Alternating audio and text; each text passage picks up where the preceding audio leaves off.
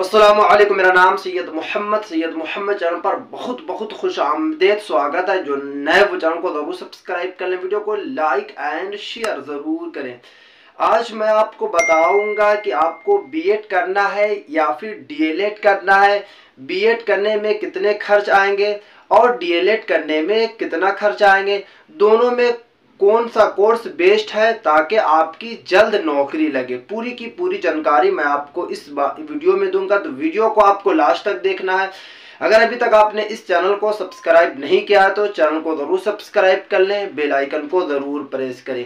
क्योंकि जितने भी मदरसा के स्टूडेंट हैं, काफ़ी परेशान रहते हैं कि उनको कौन सा कोर्स करना है? बीएड करने में फ़ायदा है या फिर डीएलएड करने में? तो यहाँ पे आप देख सकते हैं कि मैं यहाँ पे बीएड के बारे में पूरा इन्फॉर्मेशन यहाँ पे लिखा हूँ और यहाँ पे आप देख सकते हैं डीएलएड के बारे में मैं इन्फॉर्मेशन लिखा हूँ। देखिए बीएड करने के लिए आपके पास जो क्वालिफिकेशन होनी चाहिए, वो आलिम की डिग्री होनी चाहिए। अगर आलिम फ़र्स्ट ईयर सेकंड ईयर और थर्ड ईयर आपका कंप्लीट है तो आप बीएड का फॉर्म भर सकते हैं। उसके बाद फ़ीस बीएड में फ़ीस कितनी खर्च होती है? देखिए, अगर आप बिहार से प्राइवेट कॉलेज से बीएड करेंगे। प्राइवेट कॉलेज से अगर आप बीएड करेंगे तो लगभग लगभग आपका ढाई लाख रुपया लगेगा। ढाई लाख रुपया लगेगा। आप, अगर आप बिहार से बिहार से बीएड करेंगे प्राइवेट कॉलेज से। अगर आप मिथिला यूनिवर्सिटी से अगर आप बीएड करेंगे तो वहाँ पे बीएड का जो दो साल का जो पूरा पेमेंट है, वो लगभग लगभग साठ हज़ार रुपया। साठ हज़ार रुपए में आप बीएड कर सकते हैं। क्योंकि आपको पता है कि मिथिला जो यूनिवर्सिटी दरभंगा की है, वो प्राइवेट नहीं, सरकारी है। अगर आप सरकारी से कीजिएगा तो साठ हज़ार रुपया खर्चा होगा। बिहार की मैं बात कर रहा हूँ अदर्स यूनिवर्सिटी के बारे में मैं आपको बताऊँगा कि सेंट्रल यूनिवर्सिटी से कितने खर्च आते हैं। उसके बाद अगर आप बिहार के प्राइवेट कॉलेज से प्राइवेट यूनिवर्सिटी से अगर आप कीजिएगा तो लगभग लगभग ढाई लाख रुपया टोटल आपका खर्च पड़ेगा। उसके बाद सिलेबस सिलेबस क्या होगा? तो देखिए, सिलेबस की अगर मैं बात करूँ तो सिलेबस जो है लगभग लगभग डीएलएड की तरह रहता है। जिसमें डीएलएड में जो रहता है, उर्दू आपका रहेगा, मैथ्स रहेगा, उसके बाद आपका सोशल साइंस रहेगा साइंस रहेगा, रीजनिंग, ये सारे आपके सब्जेक्ट रहेंगे इंट्रेंस में। ये सारे आपको एंट्रेंस देना पड़ेगा, उसके बाद फिर आपको कोई अच्छा सा कॉलेज मिलेगा। उसके बाद बेस्ट यूनिवर्सिटी कौन सी होगी बीएड के लिए? देखिए अगर मैं आपको बताता हूँ बेस्ट यूनिवर्सिटी की अगर मैं बात करूँ तो बेस्ट यूनिवर्सिटी में जैसे जामिया है। जामिया से अगर आप बीएड कीजिएगा तो आपको काफ़ी फ़ायदा होगा क्योंकि यहाँ पे आप क्लास करेंगे या फिर अगर आप ओपन से भी जामिया से करते हैं तो आपको का, काफ़ी फ़ायदा होगा। अगर आपको घर रहकर बीएड करना है तो आपको क्या करना है कि आपको अल्फलाह में आपको एडमिशन ले लेना है क्योंकि अल्फलाह का अभी वक्त है जो अभी जुलाई या फिर जून में उसका डेट आने वाला तो अल्फलाह से आप डायरेक्ट जो है बीएड कर सकते हैं। पैसा कितना खर्चा होगा? तो एक लाख पैंतीस हज़ार रुपया आपका खर्च होगा बीएड में। क्योंकि हमारे जानने वाले काफ़ी लोग हैं जो अल्फला से बीएड कर रहे हैं। क्योंकि जामिया का डेट खत्म हो चुका है। जितनी भी यूनिवर्सिटी है, लगभग लगभग सारा का डेट खत्म हो चुका है। क्योंकि अब जो डेट आएगा, वो 2025 में आएगा। अगर आपको 2024-25 सेशन में करना है और फिर आपका 26 में कंप्लीट हो जाए। तो आपको अल्फला में एडमिशन ले लेना, जून या फिर जुलाई के मंथ में फॉर्म आएगा। मैं आपको बताऊँगा कि आपको फॉर्म कैसे भरना। तो ये है बीएड बीएड का इस तरीके का प्रोसेस रहता है कि इस तरीके से आप बीएड में एडमिशन ले सकते हैं। या फिर अगर आपको बीएड इंट्रेंस की तैयारी करना है तो इस तरीके से आप तैयारी कर सकते हैं।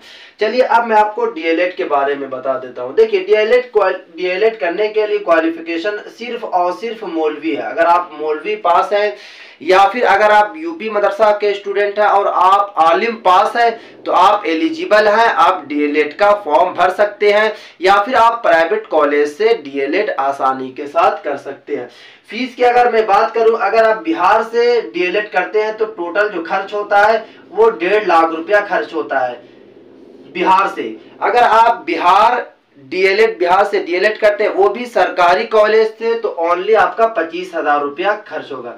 क्योंकि आपको पता है कि बिहार से अब आप 2024 में आप डीएलएड नहीं कर पाएँगे, क्योंकि फॉर्म जो डेट है वो खत्म हो चुका है, अभी एग्ज़ाम चल रहा है, उसके बाद अब एडमिशन होगा। मैं आपको बताऊँगा कि कौन सी कॉलेज से अभी आपको करना है। अगर आपको बिहार से करना है तो एक साल का आपको वेट करना पड़ेगा, दो हज़ार आपका पच्चीस में एडमिशन होगा। उसके बाद सिलेबस सिलेबस की अगर मैं बात करूँ तो आपका उर्दू रहेगा पच्चीस नंबर का एंट्रेंस में इंग्लिश रहेगा बीस नंबर का मैथमेटिक्स आपका रहेगा पच्चीस नंबर का सोशल स्टडीज़ में 20 नंबर का रहेगा साइंस आपका 20 नंबर का रहेगा, और रीजनिंग जो रहेगा, आपका दस नंबर का रहेगा। टोटल 120 नंबर का बिहार में इंट्रेंस होता है। इंट्रेंस के बाद आपका एडमिशन होता है। अगर आप इंट्रेंस में 120 में से 60 या पैंसठ नंबर लाएँगे तो आपको प्राइवेट कॉलेज मिलेगा। अगर आप 80 प्लस नंबर लाएँगे 75 प्लस नंबर लाएँगे जनरल वाले तो आपको सरकारी कॉलेज मिल जाएगा। आपको वहाँ पे हॉस्टल मिलेगा। आप डायरेक्ट वहाँ रहकर आसानी के साथ आप डीएलएड कर सकते हैं। बट बिहार से अब आप डीएलएड अभी नहीं कर पाएँगे, क्योंकि फॉर्म का जो डेट था, वो खत्म हो चुका है, अभी एग्ज़ाम चल रहा है, आप 2025 में ही फॉर्म को भर पाएँगे। उसके बाद अब आप बेस्ट कॉलेज तो कौन से कॉलेज से आपको डीएलएड करना है? देखिए बीएड या फिर अगर आपको डीएलएड करना है तो बीएड भी आप जो है अल्फला से कर सकते हैं, और डीएलएड भी आप अल्फला से कर सकते हैं। ओपन से, क्योंकि ये दोनों से क्या होगा कि आपका ओपन से होगा। आपको घर रह के आपका क्लास कंप्लीट हो जाएगा और आपको दो साल में आपको बीएड या फिर डीएलएड करवा लिया जाएगा। अब जो बात ये है कि क्योंकि मैं आपको पूरा इन्फॉर्मेशन यहाँ पे दे दिया हूँ कि बीएड और डीएलएड का ये प्रोसेस है।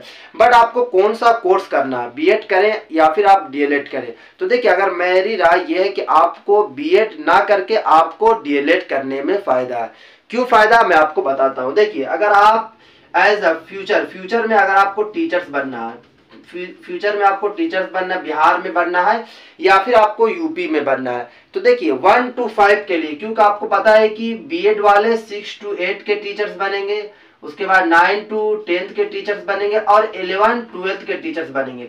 बट डीएलएड वाले क्या है कि डीएलएड वाले सिर्फ़ और सिर्फ़ जो डीएलएड वाले टीचर्स बनेंगे, वो वन टू फाइव के बन वन टू फाइव में बनेंगे। तो आपको पता है कि वन टू फाइव में जो कंपटीशन है, बहुत ही कम रहता है। अगर मैं टीआरई वन की बात करूँ टीआरई टू पॉइंट ज़ीरो की बात करूँ बीपीएससी या फिर टीआरई थ्री पॉइंट ज़ीरो का जो एग्ज़ाम होने वाला है, ये तीनों का जो कट ऑफ़ ज़्यादा गया था, वो नाइन सिक्स टू एट और नाइन टू टेंथ में गया था। तो सिक्स टू एट और नाइन टू टेंथ में टीचर्स बनना काफ़ी मुश्किल है। तो अगर आपको एज अ टीचर बन के काम करना है, अगर आपको फ्यूचर में टीचर्स बनना है और आपने ग्रेजुएशन कर लिया, तब भी आप डीएलएड कर सकते हैं, क्योंकि डीएलएड में अभी बिहार में काफ़ी कम है कंपटीशन और सिक्स टू एट में नाइन टू टेंथ में ज़्यादा है, क्योंकि ज़्यादा आपको पता है कि अभी जितने भी स्टूडेंट हैं, ज़्यादा जो स्टूडेंट है एट्टी परसेंट वो बीएड कर रहे हैं। और सिर्फ़ और सिर्फ़ 20 परसेंट ही ऐसे स्टूडेंट है जो डीएलएड किए हैं। तो आपका कंपटीशन बहुत ही कम है। तो इसलिए आपको डीएलएड करने में फ़ायदा है। दूसरी बात यह है कि डीएलएड में खर्च भी आपका कम आएगा। सिर्फ़ और सिर्फ़ अगर आप प्राइवेट से कीजिएगा तो आप डेढ़ लाख में कर लेंगे। अगर आप अल्फला से कीजिएगा तो एक लाख या फिर सत्तर अस्सी हज़ार रुपए में आपका डीएलएड हो जाएगा। और फिर आप डायरेक्ट जो है, आप शिक्षक बन सकते हैं। सीटेट का आपको एग्ज़ाम निकालना है। उसके बाद बीपीएससी में बैठ जाना है। क्योंकि बीपीएससी में कॉम्पिटिशन जो है वन टू फाइव का बहुत ही कम है, बहुत ही कम कट ऑफ़ जाता है।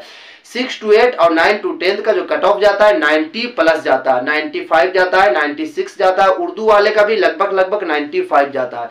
तो इसलिए आप डीएलएड करें और मेहनत करें। इस तरीके का जो सिलेबस है जैसे उर्दू में आपको पकड़ तो पहले से होगी, क्योंकि आप हाफिज मौलाना होंगे।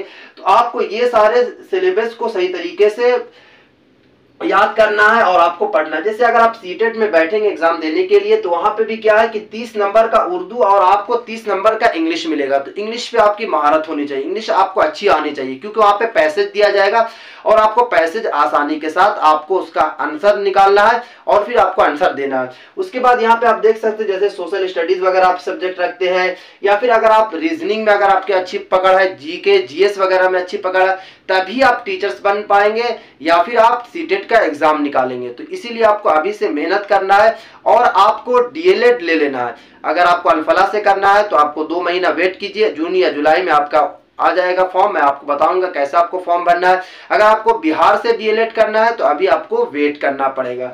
अगर आपको बीएड करना है बिहार से, मिथिला यूनिवर्सिटी से अगर आपको बीएड करना है तो बीएड को लेकर मैं वीडियो एक बना चुका हूँ, आपको ऊपर जाना है, इसी चैनल पे वीडियो आपको मिल जाएगी, क्योंकि पाँच तारीख से फॉर्म भरा जाएगा बीएड का बिहार में, और लास्ट जो डेट रखा गया है, वो 25 मई तक लास्ट डेट रखा गया है। तो पाँच तारीख से फॉर्म भरा जा रहा है फॉर्म भरिए।